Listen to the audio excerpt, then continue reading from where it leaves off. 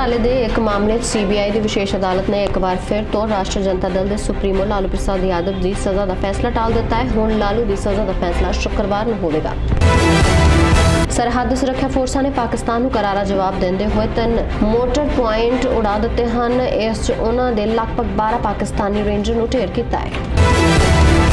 ਵਿਦੇਸ਼ ਮੰਤਰੀ ਸੁਸ਼ਮਾ ਸਵਰਾਜ ਨੇ ਹੁਣ ਕੀਨੀਆ ਤੋਂ 10 ਕੁੜੀਆਂ ਨੂੰ ਆਜ਼ਾਦ ਕਰਵਾਇਆ ਹੈ। ਇਹਨਾਂ ਵਿੱਚੋਂ ਤਿੰਨ ਪੰਜਾਬ ਦੀਆਂ ਹਨ ਅਤੇ 7 ਨੇਪਾਲ ਦੀਆਂ।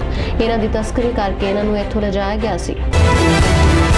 ਆਮ ਆਦਮੀ ਪਾਰਟੀ ਲਈ ਅੱਜ ਦਾ ਦਿਨ ਬੇहद ਔਖਾ ਹੋ ਸਕਦਾ ਹੈ। ਇੱਕ ਪਾਸੇ ਜਿੱਥੇ ਸੰਜੇ ਸਿੰਘ ਐਂਡੀ ਗੁਪਤਾ ਅਤੇ ਸੁਨੀਲ ਗੁਪਤਾ ਰਾਜ ਸਭਾ ਵਾਸਤੇ ਨਾਮਜ਼ਦਗੀ ਭਰਨਗੇ, ਉੱਥੇ ਆਪ ਦੇ ਮੁਅੱਤਲ ਵਿਧਾਇਕ ਕਪਿਲ ਮਿਸ਼ਰਾ ਰਾਜਘਾਟ ਤੇ ਮੌਨ ਵਰਤ ਸ਼ੁਰੂ ਕਰਨਗੇ। ਦਿੱਲੀ ਦੇ ਰਾਜ ਸਭਾ ਦੀਆਂ ਤਿੰਨ ਸੀਟਾਂ ਲਈ 5 ਜਨਵਰੀ ਨੂੰ ਆਖਰੀ ਨਾਮਜ਼ਦਗੀ ਤਾਰੀਖ ਹੈ।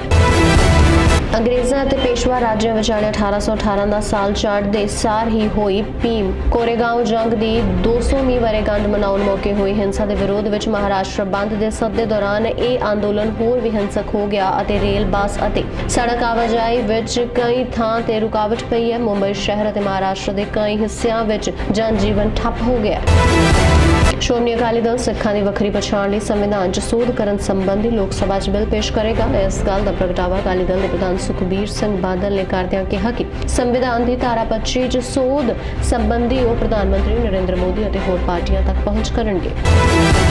ਅਮਰੀਕੀ ਰਾਸ਼ਟਰਪਤੀ ਡੋਨਾਲਡ ਟਰੰਪ ਦੇ ਇੱਕ ਟਵੀਟ ਨੇ ਪਾਕਿਸਤਾਨ ਨੂੰ ਇੰਨਾ ਹਲਾ ਦਿੱਤਾ ਕਿ ਲਗਭਗ ਰੋਜ਼ ਪਾਕਿਸਤਾਨ ਦੇ ਵਿਦੇਸ਼ ਮੰਤਰੀ ਸਫ਼ਾਈ ਦੇ ਰਹੇ ਹਨ। ਦੇਸ਼ ਦੇ ਵਿਦੇਸ਼ ਮੰਤਰੀ ਖਵਾਜ਼ਾ ਆਸਿਫ ਨੇ ਤਾਜ਼ਾ ਟਵੀਟਸ ਜ਼ਰੀਏ ਇੱਕ ਵਾਰ ਫਿਰ ਅਮਰੀਕਾ ਨੂੰ ਜਵਾਬ ਦੇਣ ਦੀ ਕੋਸ਼ਿਸ਼ ਕੀਤੀ। ਆਪਣੇ ਭਾਵੁਕ ਟਵੀਟ ਵਿੱਚ ਆਸਿਫ ਨੇ ਕਿਹਾ ਕਿ ਅਮਰੀਕਾ ਨੇ ਅਫਗਾਨਿਸਤਾਨ ਤੇ ਹਮਲਾ ਕਰਨ ਲਈ ਪਾਕਿਸਤਾਨ ਦੇ ਮਿਲਟਰੀ ਠਿਕਾਣਿਆਂ ਦੀ ਵਰਤੋਂ ਕੀਤੀ।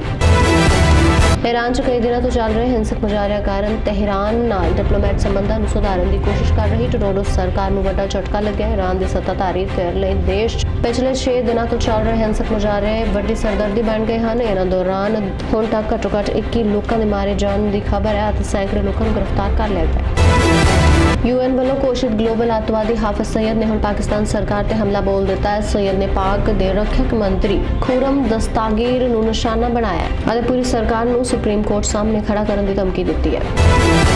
ਸੀਰੀਆ ਦੀ ਰਾਜਧਾਨੀ ਦਮਸ਼ਕ ਨੇੜੇ ਬਾਗੀਆਂ ਦੇ ਕਬਜ਼ੇ ਵਾਲੇ ਪੂਰਬੀ ਘੋਟਾ ਸ਼ਹਿਰ ਤੇ ਹੋਏ ਹਮਲੇ ਵਿੱਚ 23 ਨਾਗਰਿਕ ਮਾਰੇ ਗਏ ਹਨ। ਬ੍ਰਿਟਨ ਸਥਿਤ ਮਨੁੱਖੀ ਅਧਿਕਾਰ ਸੰਗਠਨ Syrian observatory for human rights ਨੇ ਦੱਸਿਆ ਹੈ ਕਿ ਮਸਰਾਬਾ ਸ਼ਹਿਰ ਵਿੱਚ ਰੂਸ ਦੇ ਹਵਾਈ ਹਮਲਿਆਂ ਵਿੱਚ 18 ਲੋਕ ਮਾਰੇ ਗਏ ਹਨ, ਜਦਕਿ ਬਾਕੀ ਲੋਕਾਂ ਦੀ ਜਾਨ ਸਰਕਾਰੀ ਫੌਜ ਦੀ ਗੋਲੀਬਾਰੀ ਕਾਰਨ ਹੋਈ ਹੈ।